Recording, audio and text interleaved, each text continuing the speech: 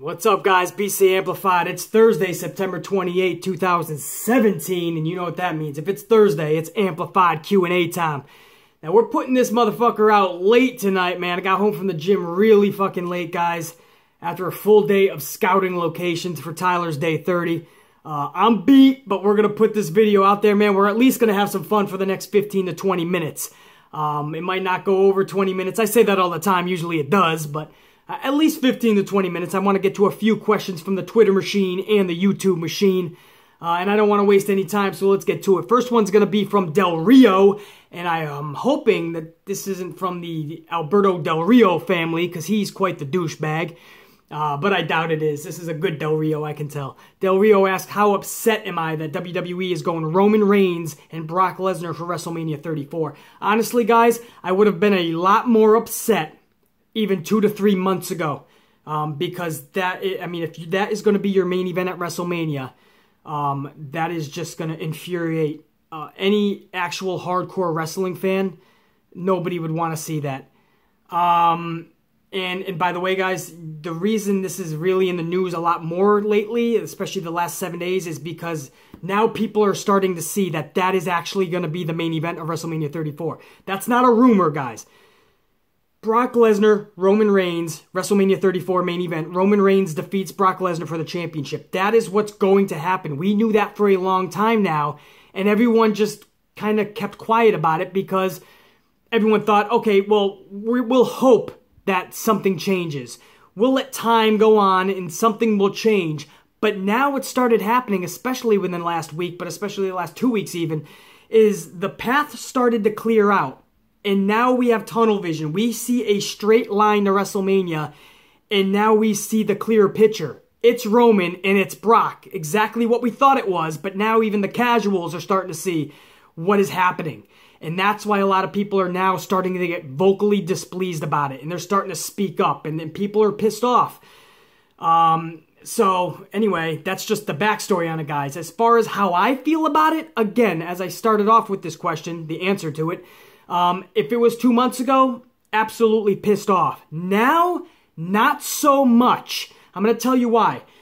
Two months ago, you still had cookie cutter Roman Reigns, the one that's getting shoved down our throats and trying to be the cookie cutter baby face, the squeaky clean image, and all that bullshit. No, nobody is trying to buy that. Nobody wants to buy that. Nobody wants that on their TV. So, now it started happening because we did speak up so many at so many arenas. We did boo our fucking brains out. We yelled, we screamed, we hollered how we did not want this guy in these main events. And what happened was he started week by week getting more healer, right? More heelish. Now, Vince McMahon, guys, will never make Roman Reigns full throttle heel. Ever. And I'll tell you why. This past summer, as far as merchandise sales, Roman Reigns was number two in the highest merchandise sales behind John Cena. You know what that means? With John Cena now gone full time, Roman Reigns is going to be the biggest merchandise seller for WWE. So even if we say we don't like him, even if we hear all those boos at the arena, and even if arenas are only three quarters sold, in some cases only half sold, and everything else is tapered off, SmackDown has a bigger issue with that, by the way, so that's not Roman Reigns' fault. But even if all of that is true, which it is, Roman Reigns is still bringing in boatloads of cash for Vince McMahon. Piles and piles. Merchandise is through the roof for Roman Reigns.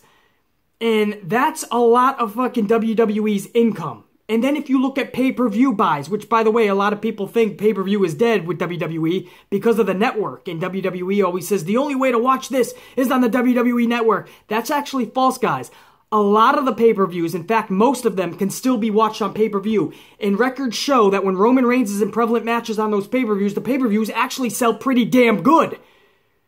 So Roman Reigns is bringing in money elsewhere. People want to blame him for the house shows uh, attendance and unfortunately for him, that's true because if Hulk Hogan got blamed for it back in the day, and Steve Austin got blamed for it, and The Rock, if houses were down, the champions at the time, or the head top faces, they would get blamed for it. So you're damn right Roman Reigns has to take some of that blame. But the other blame, the rest of it, goes on just people not wanting to leave their house anymore, guys. Major League Baseball attendance is down as well. National Football League, all numbers are down. You look at AMC movie theaters, just going out, taking your girlfriend out to the movies, that is down drastically to the point where they actually had to put recliners in all of their theaters so people would get a more homey experience and hope that they come out. So of course WWE is going to suffer as as well. That's not just any individual or even any collective talent's problem. But again, because Roman is being pushed as the top face, he's got to take the brunt the brunt of that as well. And and he's going to. But if you're going to take some of that, then also you have to look at where we are as a society. We live in a society where you can Uber, you can have your Uber go pick up your McDonald's and drop it off at your house. Uber does that shit now. You do not have to leave your house for even McDonald's. If you want a girlfriend, all you gotta do is swipe right. Or ladies, if you want a boyfriend, all you gotta do is go on your phone and swipe right. Back in my day, we actually had to make eye contact and stutter ourselves to a date. I, I was just wondering if you, if you, there's, I mean, there's a place we can, drink, there's water and, and look like fucking idiots. Luckily, I was a dashing young man, so I got some on my fucking looks, but fuck did I stutter too, man, because eh, fuck, you're 12 years old, you're 13, you're 14, you're 15, you're trying to get a date. Nowadays, you pick up your fucking phone. And you ain't even gotta go take that date out. You bring your date over and you call your Uber to go pick up your fucking McDonald's or your pizza or your fucking Olive Garden or wherever the fuck you wanna go. Right?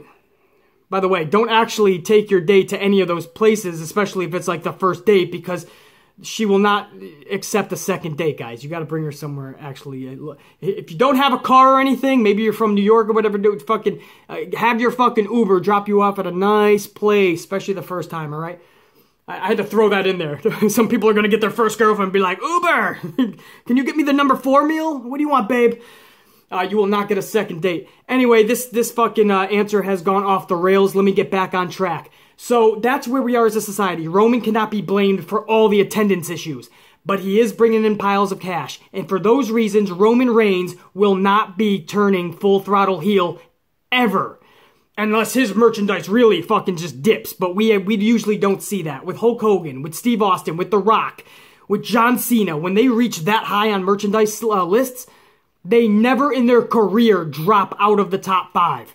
So that goes to show you guys that Roman Reigns is pretty much going to be there for the next fucking 10 years.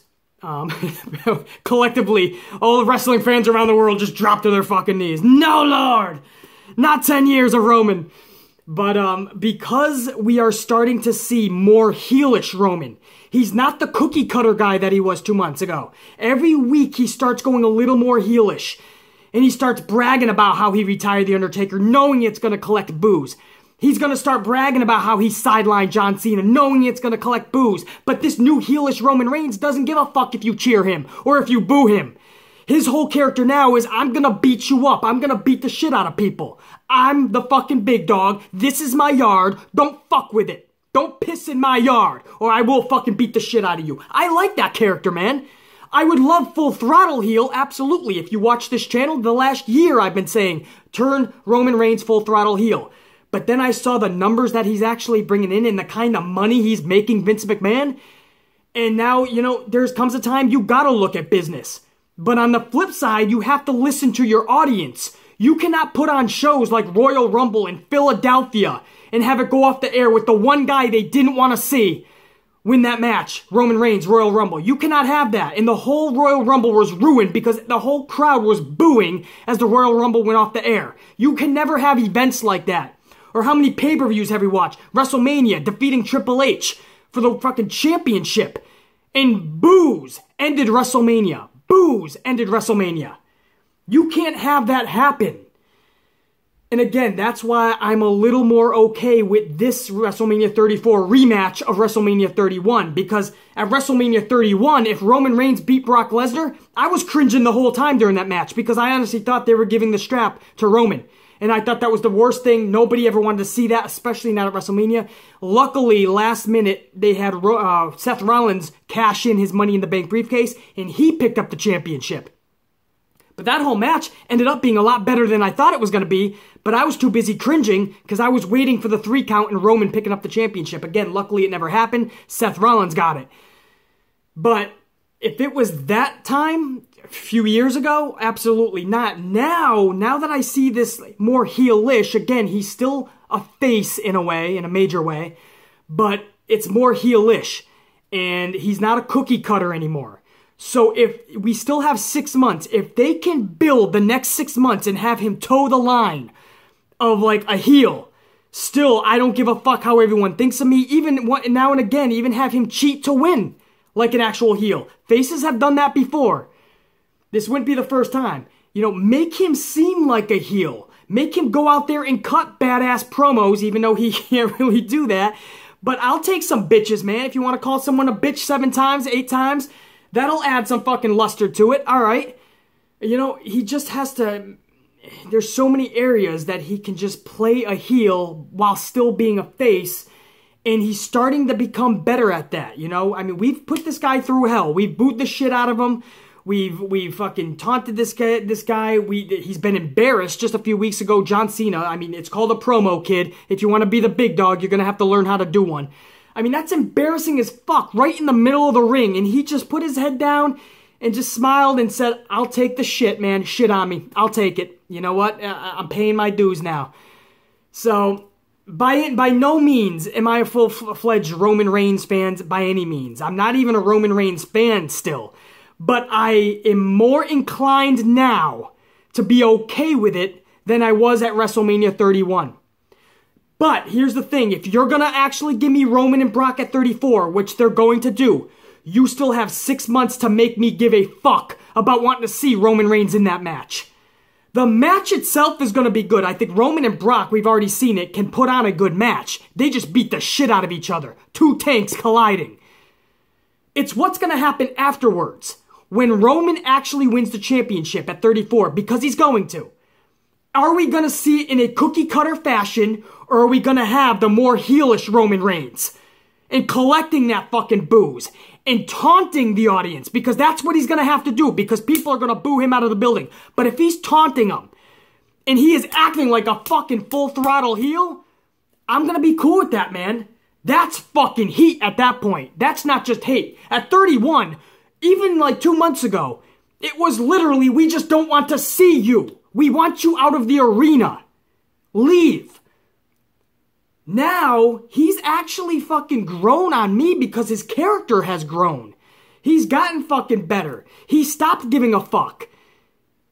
So I'll shut up about that, guys. But Roman Reigns now, compared to Roman Reigns even two, three months ago, is leaps and bounds different. He no longer gives a fuck about us. And isn't that what we wanted from the beginning? Now, there's so many people out there again that are voicing their displeasure. A lot of people are not on board with how I feel about slowly gravitating a little bit to Reigns. A lot of people still want nothing to do with Roman Reigns. Uh, in in your case, guys, I hear you. I ain't disagreeing. I again, I was fully on that fucking same train just two months ago. And I'll reiterate, I'm still not a Roman Reigns fan right now. He's just growing on me and I'm learning to to I'm learning to adjust as he does to being a heel ish because he's never going to be full throttle heel. But as he adjusts and he becomes more meaner and he becomes more I don't give a fuck and he becomes more of a fucking dastardly kind of character, I'm going to adjust with that um, because I know where they're going with business. And because of that, guys, I know you guys are just not going to convert. And for you guys, hold on. It's going to be a bumpy ride. WrestleMania, Roman Reigns is going to get that. So either you start to adjust. Um, it's not accepting. A lot of people want to confuse that with, oh, you know, you're just going to accept the bullshit. Well, first of all, if you want to watch WWE, what else are you going to do? We're going to voice our displeasure, absolutely. But you're going to have to accept it. Roman is getting the strap at 34. That is an old school Batista saying, deal with it, because that's what's happening. None of us are going to change that shit. We're not going to Daniel Bryan our way out of this. Vince is getting older, and that's the one thing he is dead set on. Roman's getting that strap. Now we can adjust and we can make it fun because at least Roman is trying. He's trying to make it more fun. He's trying to go as heelish as he can, but Vince won't let him go full throttle. Or you can just really hate it and again, this is going to be a bumpy six months for you guys because WrestleMania, he's getting that strap. 15 minutes on this topic. What the fuck? Let's move on, guys. Harry Stone from Twitter is asking me my top five favorite movies. This is a little bit of a, uh, this is a good way to get away from a serious topic, which we were just talking about. Uh, we'll bring it down a little bit. We'll have some fun. I'll give you my top five favorite movies. Number five, and now, guys, these are all from the 80s and 90s, by the way. I just want to get that out there. There's nothing new. A lot of you guys probably have never even seen some of these or maybe all of these movies.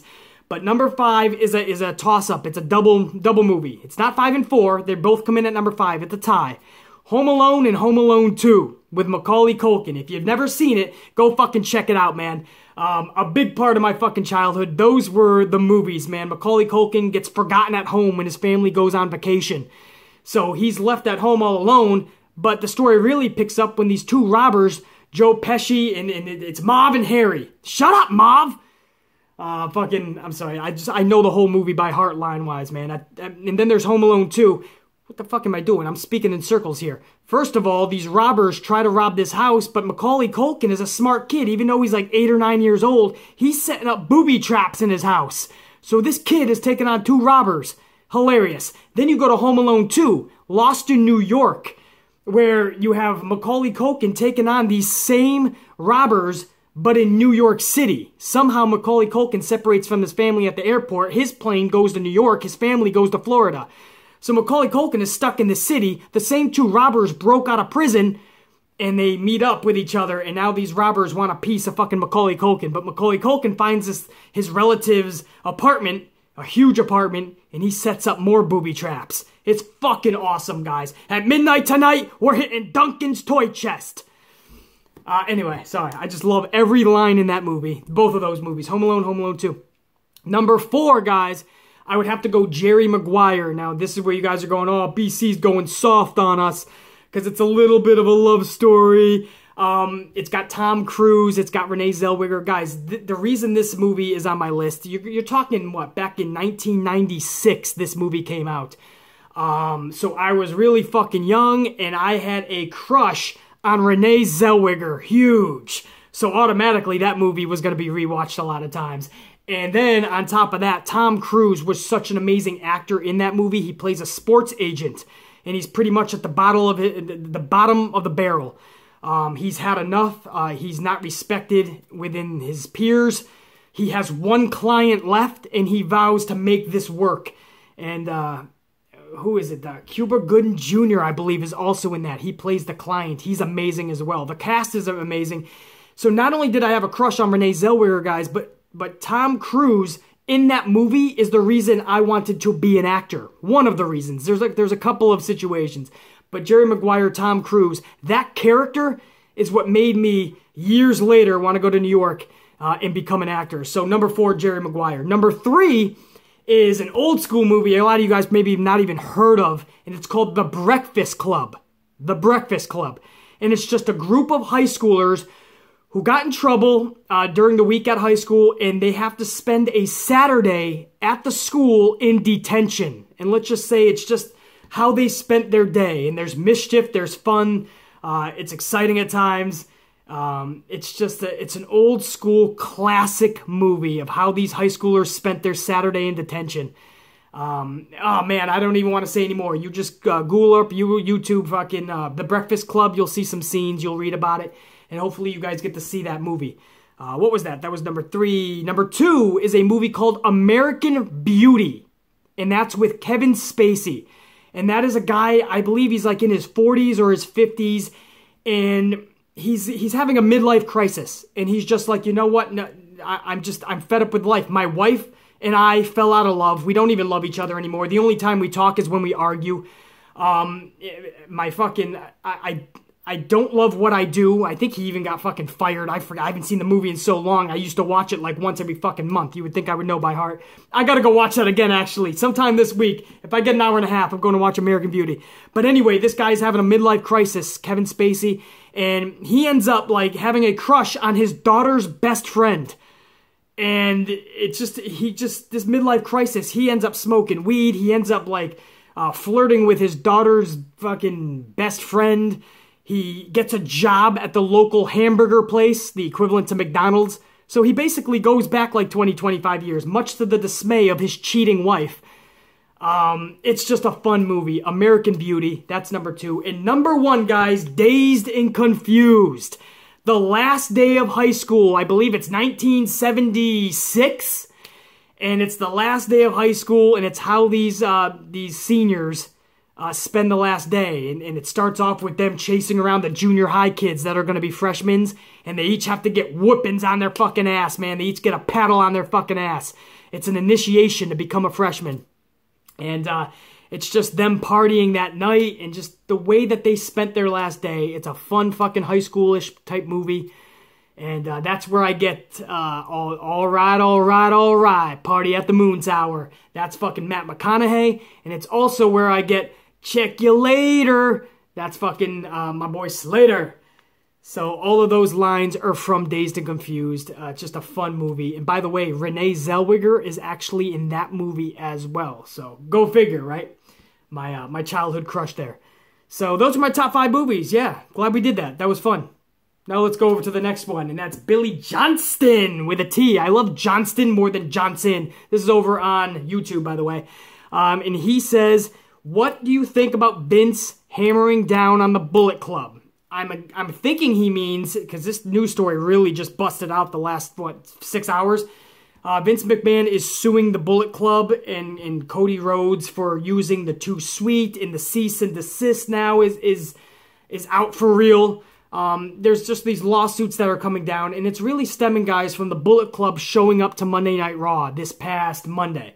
The Bullet Club showed up to Monday Night Raw with Cody Rhodes and they said we're taking over and all this, you know, basically they're reenacting what DX did to WCW back in 1998. However, what I think really pissed Vince McMahon off is that they went up to a fan and the fan said, "I got my ticket for free." And Cody Rhodes and them were making fun of that and saying they're, dead, you know, they're, they're tapering tickets, man.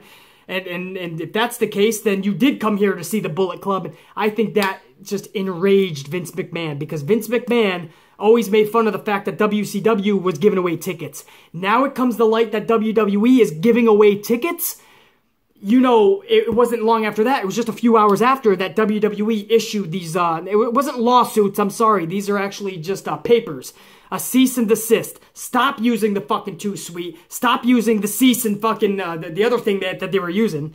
Um, the cease and desist is now for real. Uh, this is going all over the place, man. Vince McMahon has to relax. It's the Bullet Club. Nobody ab- outside of the die-hard fucking fans give a fuck about the Bullet Club. Half the people there that were chanting Bullet Club didn't really even know who the other members in the Bullet Club were. So relax, Vince. But because Vince got his pride and his ego hurt, now he's coming after uh, the Bullet Club. And if they do not oblige, uh, they will be hit with lawsuits. In fact, uh, th- th- that could come as early as Monday. So I think Bullet Club is going to have to. I, I know there's shirts that they were using that Vince is going after. A bunch of shit that they have to stop. So sucks for the Bullet Club, but you know what? They, they had a good run at it. They, Vince didn't give a fuck about any of this until they showed up Monday at Raw to invade Monday Night Raw, and then until they kind of embarrassed Vince McMahon in WWE and saying that, oh, you're giving away tickets now. I think that's really what enraged Vince McMahon, uh, without a doubt. Damn, guys, 24 minutes. I only got in three fucking questions because I run my fucking mouth, damn it. I just got back from the gym, and you know, I, I, I haven't talked to you guys in a while, and I just wanted to shoot the shit, that's all. I apologize, guys. Um, I will say this uh, weekend update tomorrow. Um, we will go. Um, I'll make up for it. I'll go at least a good 25 to 30 minutes on tomorrow's weekend update. I do that every week anyway, so what the fuck am I saying? But uh, I, I, appreciate you guys letting me off the hook now. Under 25 minutes, I do have to hit the showers, relax, get ready for my Packers game tonight, baby. The Green Bay Packers are playing tonight against the Chicago fucking Bears. Um, at least I think they're playing. There's so much NFL turmoil right now. Fans are fucking boycotting, and, and people are kneeling and standing and doing handstands and cartwheels during the national anthem, and the whole world's going fucking nuts. But as long as we collectively disagree on Roman Reigns, that's all we need to disagree on. Uh, BC Amplified guys, much love to all you guys. Smash that subscribe button because YouTube is trying to fuck with your boy, constantly flagging all my videos, and then two days later they're like, oh, congratulations, BC Amplified. We have determined your video should not have been flagged. You can start making some fucking advertisements now. Well, great, after two fucking days when I'm already on to the third next video and nobody gives a shit about that one anymore. Thanks a lot, YouTube, you dumb fuck. BC Amplify, guys. Much love. Let's rock it out. I'm not gonna lie, it's a little bit later in the night, but we are gonna have a couple more coffees. We're gonna continue to kick ass tonight. I'm gonna see you guys tomorrow. We'll check you later.